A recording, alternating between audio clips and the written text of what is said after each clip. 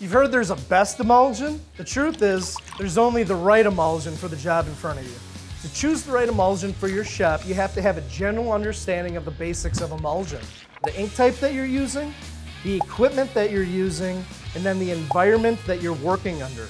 Those are gonna be the three main factors to determine the correct product for you. So let's start with ink type. Whether or not you're using water-based inks, plastisol, solvent, UV, you need to have the correct emulsion to work with the ink system that you're using. If you're using water-based or discharge inks, one of the most important factors needs to be the emulsion is water resistant. If the emulsion is not water resistant, your screens are gonna break down really fast and you're gonna have problems across the board.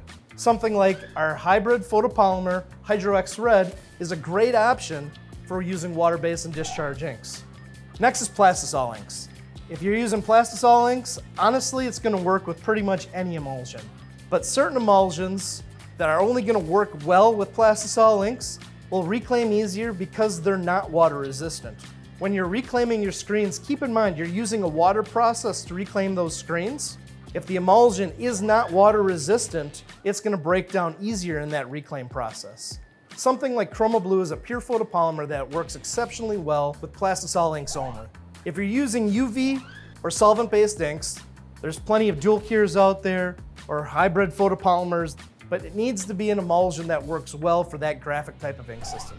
The next factor to consider is the equipment that you have. You might have a fluorescent tube system, LED, metal halide, or LTS.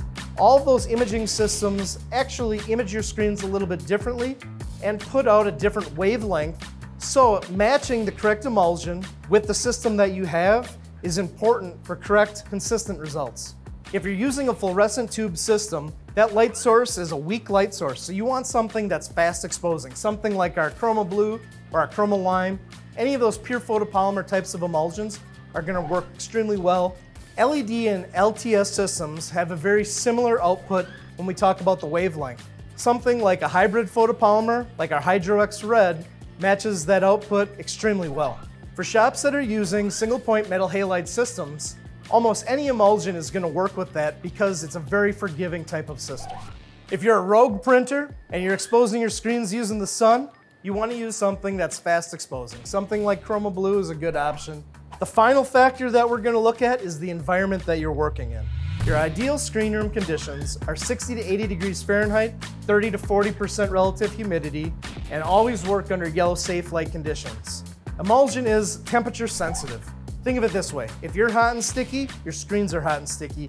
If it's way too hot in your darkroom or even in transit, it can have negative impact where it can get clumpy and kind of even gel. If it's too cold, your emulsion is gonna kind of seize up and it's gonna be thicker when you're coating your screens. If you don't have the perfect lighting in your darkroom, use something that's slower exposing. Something like a dual cure or diazo-based emulsion is slower exposing, so it's gonna be more forgiving.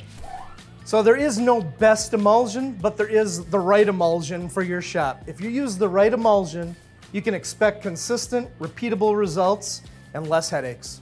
Go check out Chromaline on screenprinting.com. If you found this video helpful, share it with your friend who's struggling in the darkroom like this video, and consider subscribing. If you have a specific scenario that we didn't cover here today, leave it in the comments below. Thank you for powering the print with Ryonet.